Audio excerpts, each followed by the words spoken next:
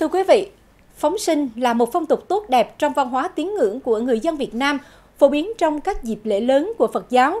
Tuy nhiên, lợi dụng lòng tin của Phật tử, người dân, nghi lễ này đã bị biến tướng thành hoạt động mua bán phản cảm trước các cổng chùa, làm mất đi ý nghĩa nhân văn của việc phóng sinh. Ghi nhận của phóng viên thời sự Đà Nẵng TV.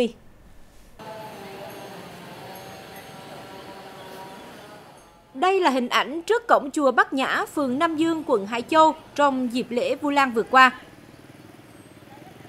Nhiều người bán chim phóng sinh đã có mặt từ sớm, với hàng chục lồng chim, nhốt hàng trăm con chim sẻ, chim ri được bày bán phản cảm dọc trên các vỉa hè. Khoảng gần giờ tăng tầm, khi ngày càng đông Phật tử, người dân đến lễ chùa, việc mua bán chim phóng sinh diễn ra phức tạp hơn. Qua tìm hiểu, mỗi con chim được mua với giá từ 20.000 đến 25.000 đồng.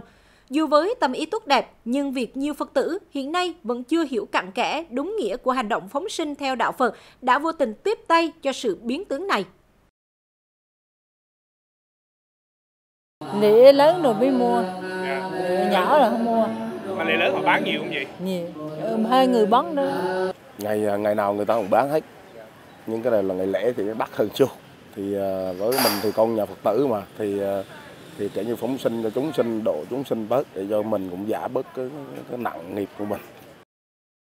Khi hoạt động phóng sinh diễn ra nhộn nhịp theo đơn đặt hàng, tạo thành thị trường mua bán thực sự thì nạn săn bắt động vật phục vụ nhu cầu này diễn ra ngày một nghiêm trọng.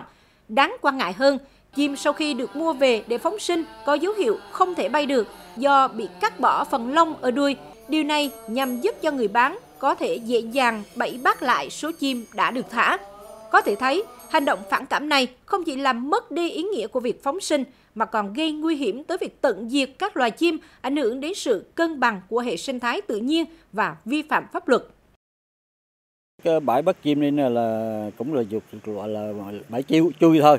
Chính quyền mà họ họ biết họ cũng cũng cũng ngăn cản chứ không không không để tự do được. Vấn đề bãi bác thì phần lớn bây giờ trừ ở thành phố mình đó, thì chỉ những nơi mà coi như yên ả này rồi người ta nhử chim xuống thì cái đó là trường hợp hiếm hoi là người ta cũng ít bác. Nhưng chủ yếu là bác ở vùng quê à, tới mùa ví dụ mùa à, à, sau mùa gạt á, thì hoặc là sau mùa sinh sản thì coi như chim phát triển mạnh. Thì lúc đó là người ta mới mới chọn cái thời điểm đó là bác.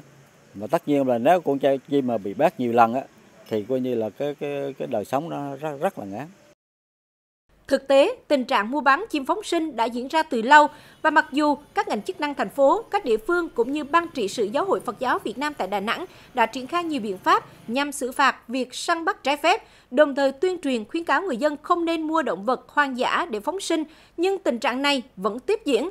Vì vậy, để giải quyết sự biến tướng này, cần sự thay đổi tư duy và chung tay hành động của cả cộng đồng, xã hội, lan tỏa sâu rộng hơn thông điệp về việc bảo vệ môi trường và quyền động vật.